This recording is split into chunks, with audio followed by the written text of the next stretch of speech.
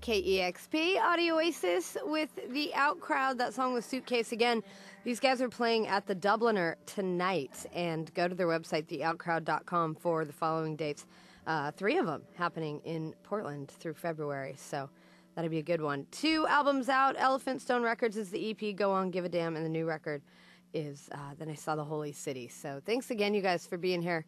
And uh, for everybody out there, go to the website, go to the show tonight, pick up these guys' record because uh, it's good stuff. And this song is Four Lines, Three Drugs, 90.3 KEXP. Audio Oasis with the Out Crowd. What? Free drugs? three drugs, four drugs, three drugs.